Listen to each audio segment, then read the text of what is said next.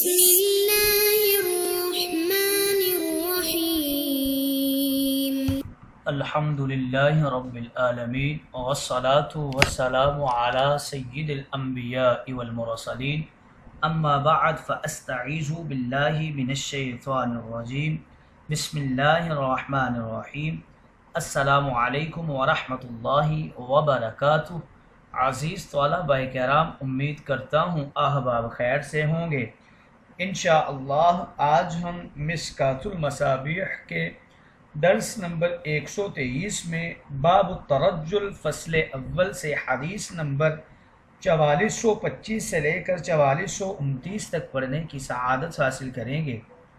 آج کے درس میں ان احادیث مقدسہ کا ترجمہ ہوگا اور ساتھ ساتھ ان احادیث مقدسہ کی توضیح و تشریح کرنے کی سعادت حاصل کریں گے۔ تو آئیے طلبہ کرام بلا تاخیر بڑھتے ہیں اپنے آج کے درس کی طرف۔ بسم اللہ الرحمن الرحیم۔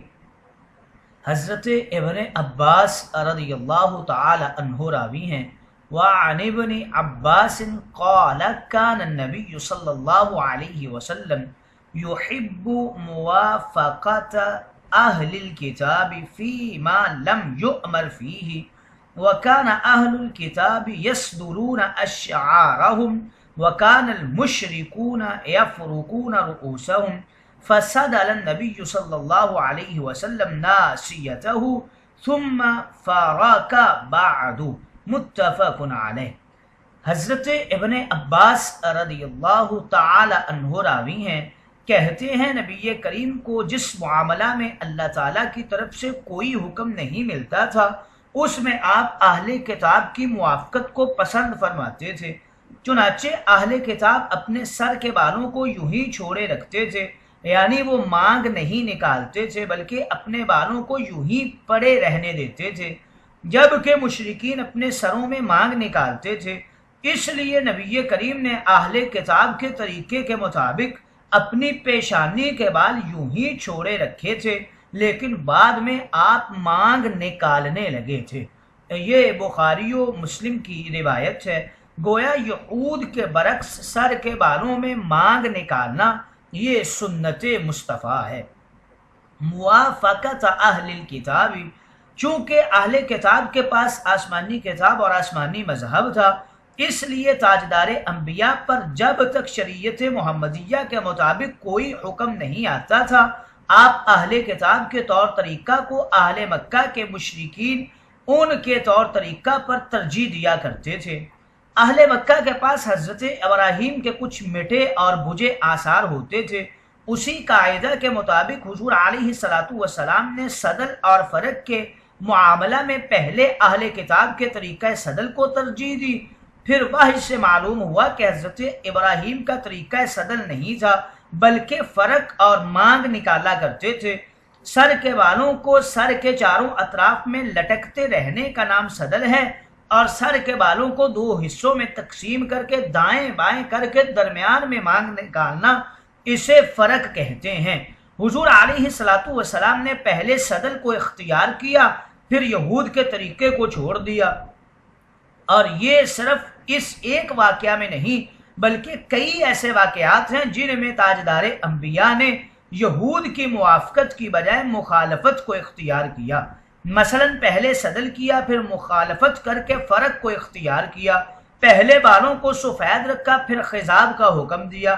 پہلے عاشورہ کا روزہ رکھا، پھر اس کے ساتھ ایک اور ملانے کا حکم دیا۔ پہلے بیت المقدس کی طرف نماز پڑھی، پھر مخالفت کر کے کعبہ کی طرف پڑھنی شروع کر دی۔ پہلے حائزہ عورت سے بالکل بائیکاٹ کیا، پھر جمعہ کے علاوہ اختلاط کا حکم دیا۔ پہلے جمعہ کے روزہ کا حکم دیا، پھر اکیلے جمعہ کے روزہ کو منع کیا۔ پہلے جنازے کے لیے قیام کا حکم دیا، پھر یہود کی مخالفت میں ترک کر دیا۔ پہلے ہفتہ اور اتوار کے روزے رکھنے سے منع فرمایا۔ پھر یہود و نصارہ کی مخالفت میں روزہ رکھنا شروع کر دیا کہ ان کی عید ہے تو ہم روزہ رکھیں گے۔ اس سے معلوم ہوا کہ پیغمبر اسلام اپنی امت کو یہود و نصارہ کے طور طریقے اپنانے سے کتنا دور رکھنا چاہتے تھے اور آج کل کے مسلمان حکمران ہر چیز میں یہود و نصارہ کو گلے لگا رہے ہیں۔ یہود و نصارہ ان کی طرف نہیں آئے ہیں بلکہ یہ نااہل حکمران ان کی طرف چلے گئے ہیں۔ اگلی حدیث مقدسہ کی طرف بڑھتے ہیں۔ حضرت نافع وہ ابن عمر سے روایت کرتے ہیں۔ قال سمعت النبی صلی اللہ علیہ وسلم ینہا عن القزاع قیل لنافع ما القزاع قال يهلك بعد رأس السبي ويترك البعض متفق علیہ وَأَلْهَكَ بَعْدُهُمْ التَّفْسِيرَ بِالْحَدِيثِ حضرت نافع، حضرت ابن عمر سے روایت کرتے ہیں کہ انہوں نے کہا، میں نے نبی کریم کو قضا سے منع فرماتے ہوئے سنا۔ حضرت نافع سے پوچھا گیا کہ قضا کیا ہے؟ انہوں نے کہا، قضا اس کو کہتے ہیں کہ لڑکے کے سر کے بعض حصہ کو مونڈا جائے اور بعض حصے کو چھوڑ دیا جائے۔ یہ بخاری و مسلم کی روایت ہے اور بعض راویوں نے وضاحت کو حدیث کے ساتھ جوڑا ہے۔ یعنی ان راویوں کے مطابق قضا کے یہ معنی حضور علیہ صلاۃ وسلام نے خود ہی بیان فرمائے تھے۔ قضا کے حوالے سے ذکر کر رہے ہیں، سر کے بعض بالوں کو کاٹنا اور بعض کو چھوڑ دینا، یہ قضا کہلاتا ہے۔ قال النووی القزع حلق بعد الرأس مطلقا۔ قیل لنافع یعنی حدیث کے راوی سے کسی نے پوچھا کہ قضا کیا چیز ہے، تو آپ نے جواب میں قضا کی تعریف کی۔ اس میں راوی نے قضا کو بچے کے ساتھ خاص کیا ہے۔ یہ قید بوجہ رواج ہے کیونکہ عام طور پر قضا بچوں کے بالوں میں کیا جاتا ہے۔ ورنہ ممانعت کے اعتبار سے جس طرح قضا بچے کے لیے مکرو ہے، اسی طرح بڑوں کے لیے بھی مکرو ہے۔ قضا کی بے شمار صورتیں ہیں۔ بعض لوگ حج و عمرہ کے دوران حلق کی غرض سے ایک چوتھائی سر ایک عمرہ پر کٹواتے ہیں، پھر دوبارہ سے بارہ ایسا کرتے ہیں۔ کچھ بال مڑاتے ہیں، کچھ چھوڑتے ہیں۔ قضا کی یہ مکرو ترین صورت ہے۔ بعض لوگ نظر بد سے بچاؤ کے لیے بچوں کے بالوں میں نالے بناتے ہیں۔ آگے سے، پیچھے اور دائیں سے بائیں طرف بال تراش کر لکیریں بناتے ہیں۔ یہ بد ترین قضا ہے۔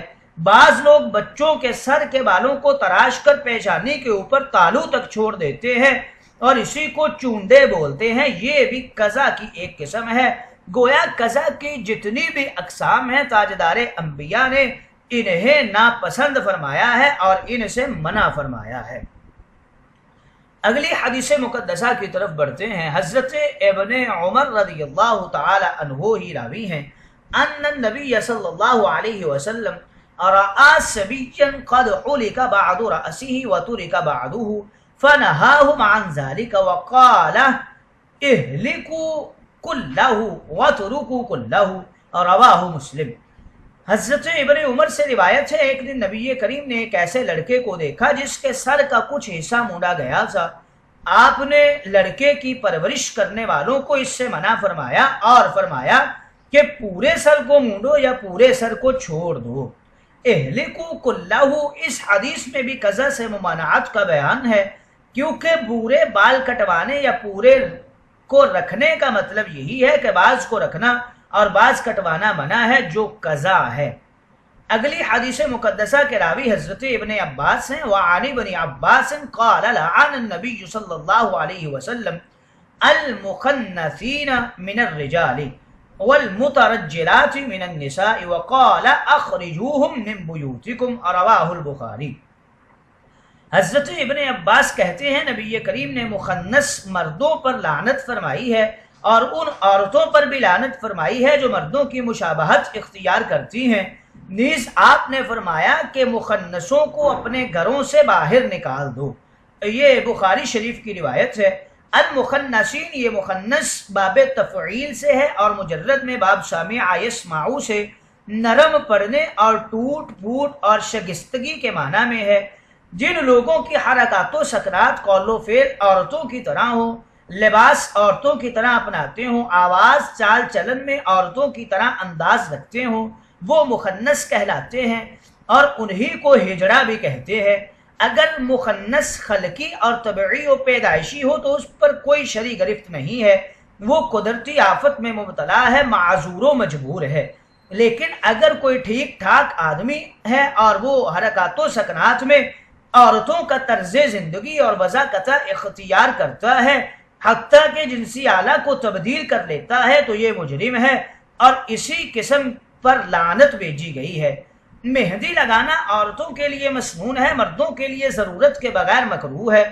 مخنص کے مقابلہ میں یہاں ان عورتوں پر لانت کی گئی ہے جو طرز زندگی میں اور حرکات و سکنات اور اقوال و افعال میں مردوں کی چال چلن کو اپناتی ہیں۔ ہاں رائے دینے اور علم میں مردوں کی مشابہت اختیار کرنے میں کوئی کباہت نہیں ہے۔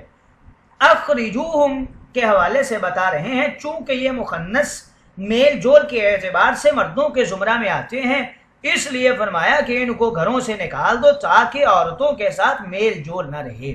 اگلی حدیث مقدسہ کی طرف بڑھتے ہیں، حضرت ابن عباس رضی اللہ تعالی عنہ راوی ہیں۔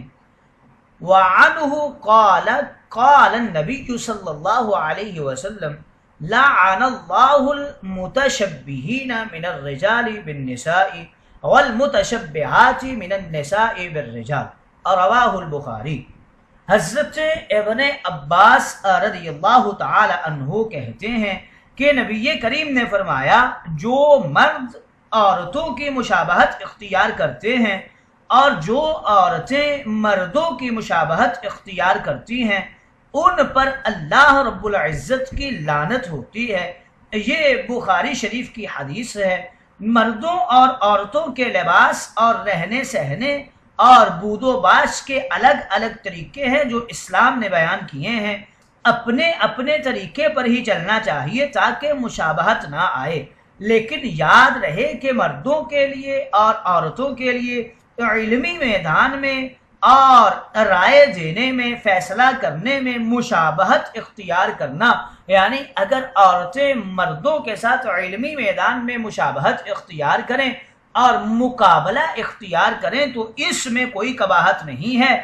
البتہ اقوال و افعال میں، حرکات و سکنات میں جو مرد عورتوں کی مشابہت کریں اور جو عورتیں چال چلن میں اقوال و افعال میں، حرکات و سکنات میں مردوں کی مشابہت اختیار کریں تو فرمایا کہ اللہ رب العزت کی ان پر لانت ہوتی ہے۔